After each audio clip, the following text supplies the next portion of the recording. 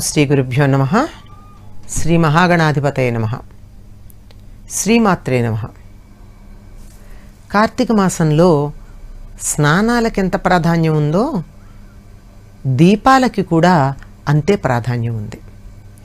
కార్తీక దీపాలు అనే ఒక పేరు కూడా ఉంది మనకి. ఈ దీపాలు కార్తీక మాసంలో వెలిగించుకోవడంలో ఉన్న అంతరార్థం ఏమిటి?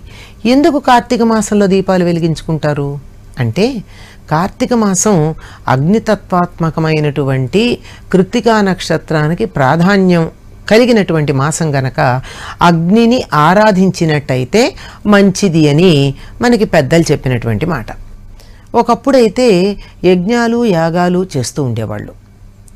అది కూడా వాటికి కూడా ప్రాధాన్యం ఈ కార్తీక మాసంలో చేయడమే ఎక్కువ ప్రాధాన్యం ఉండేది. అయితే ఇప్పుడు యజ్ఞయాగాది క్రతువులు ఎవరు చేస్తున్నారు? చేయాల్సిన అవసరం ఉందా లేదా అన్నది కూడా ప్రశ్నే. ఎందుకంటే యుగధర్మాన్ని అనుసరించి చేసేటటువంటి పనుల యొక్క స్థాయి యుగాన్ని బట్టి మారుతూ ఉంటుంది. కనుక కలియుగంలో మనం అంతగా యజ్ఞయాగాలు చేయడం అన్నది కనపడడం లేదు. మరి అగ్నిని ఎలా ఆరాధిస్తాం?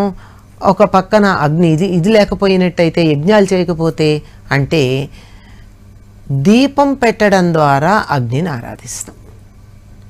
ఈ దీపం కార్తీక మాసంలో దీపావళి నాడు మొదలవుతుంది. దీపావళి ఆశ్వయుజ బహుళ అమావాస్య నాడు మొదలవుతుంది. ఆనాటి నుండి కూడా అంటే దానికి ముందున్న నరక చతుర్దశి రోజు నుండి కూడా దీపాలు పెట్టడం ఇంకా చెప్పాలంటే ఉత్తర దేశంలో ఆశ్వయుజ బహుళ త్రయోదశి. దాన్ని యమత్రయోదశి అన్న పేరుతో ఆనాటి నుండి కూడా దీపాలు పెట్టడం మనం చూస్తూ ఉంటాం.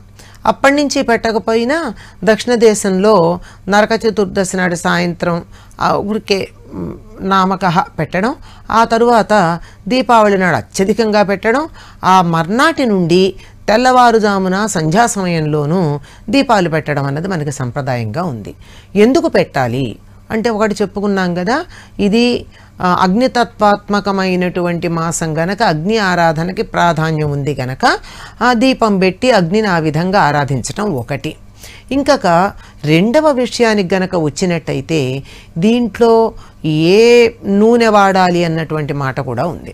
దీపావళి నుండి ఒక మాట ఉంది. ఏమిటంటే తైలే లక్ష్మి జలేర్గంగా నీళ్ళల్లో గంగా నది. నువ్వుల నూనెలో లక్ష్మీదేవి ఉంటారని చెప్పారు. కానీ లక్ష్మీదేవి ఒకప్పుడు చెప్పిన మాట ఏమిటంటే తాను ఉంటాను అని చెప్పినటువంటి ప్రదేశాల్లో దీపం అని చెప్తూ కొన్ని చెప్పింది కొన్ని ప్రదేశాల్లో ఉంటానని. అటువంటి వాటిల్లో దీపం అని చెప్తూ దీపంతో పాటుగా దాంట్లో ప్రత్యేకంగా ఆవునేతితో వెలిగించినటువంటి దీపం అని చెప్పింది. ఆవు నెయ్యి అంటే మూపురం ఉన్న దేశీయమైనటువంటి ఆవు. దీనికి కూడా కారణం చెప్తారు. మూపురం ఉన్నటువంటి ఆవు సూర్యుడి నుండి హిరణ్య వర్ణము అని చెప్పబడే హిరణ్య కిరణాలు ఏవైతే ఉన్నాయో వాటిని గ్రహించటం జరుగుతుందని.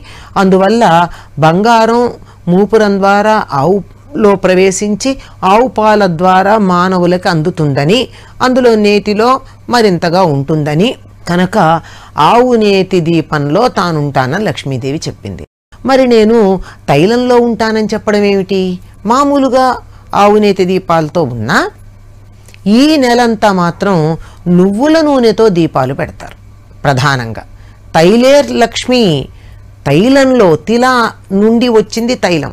తిలలు అంటే నువ్వులు తైలము అంటే నువ్వుల నుండి వచ్చినటువంటి జిడ్డు ఏదైతే ఉందో మళ్ళీ నూనె అంటే కూడా నువ్వుల నుండి వచ్చిందే నూనె. నువ్వుల నుంచి వచ్చినటువంటి నెయ్యి అంటే జిడ్డు పదార్థము. అయితే మనకు లోకంలో నెయ్యి అంటే వెన్న కాస్తే వచ్చేటటువంటిదని నూనె అంటే ఏ రకమైందైనా అని అర్థం. కానీ నిజం చెప్పాలంటే నెయ్యి అంటే ఏ జిడ్డు పదార్థమైనా నెయ్యి నువ్వుల నుంచి వచ్చింది మాత్రమే నూనె. అటువంటి నువ్వుల నూనెలో లక్ష్మీదేవి ఉంటానని చెప్పింది గనక ఈ నెల అంతా కూడా నువ్వుల నూనెతో దీపాలు పెట్టాలన్నారు. ఉదయం పూట తులసి దగ్గర మరొక చోట పెట్టేది ఆవు నేతితో దీపం పెట్టినా తప్పనిసరిగా ఎక్కువ సంఖ్యలో పెట్టేటటువంటి దీపాలు నువ్వుల నూనెతో పెట్టాలి. ఈ నువ్వుల నూనెతో దీపం పెట్టినప్పుడు దాని నుండి వచ్చేటటువంటి పొగ ఏదైతే ఉందో అది పీల్చటం ద్వారా రక్తనాళాలలోకి ఈ చల్లదనం వల్ల కలిగే సమస్య ఏదైతే ఉందో అది రాకుండా అది కాపాడుతుంది. మనం బయటికి వెడితే శీతాకాలం చలిలో వెంటనే తుమ్ములు వస్తాయి అంటే ఊపిరితిత్తులు దాన్ని తట్టుకోలేకపోతున్నాయి. అలాగే ఆ సమయంలో రక్తనాళాల్లో కొవ్వు పేరుకునేటటువంటి అవకాశం ఉంది. ఎందుకని? వాతావరణంలో వేడి లేదు కదా.